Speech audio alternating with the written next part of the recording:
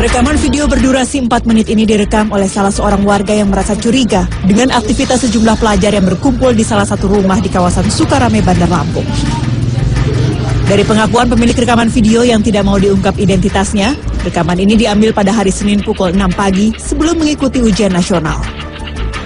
Puluhan siswa sekolah menengah atas berkumpul di sebuah rumah warga menanti kiriman jawaban lewat pesan singkat atau SMS yang akan diterima oleh koordinator siswa.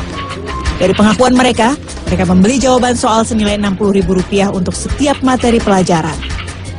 Mereka membeli dari siswa yang bertindak selaku koordinator siswa kelas.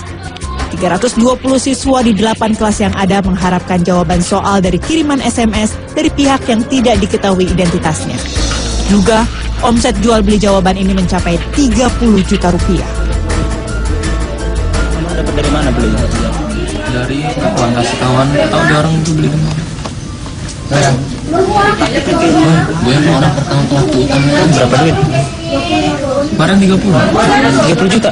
enggak Ini kamu ini satu sekolah ini aja apa ada kerja sama sama sekolah lain buat ngumpulin dana? sekolah Satu sekolah ini aja, nggak ada kerja sama kayak SMS yang lainnya.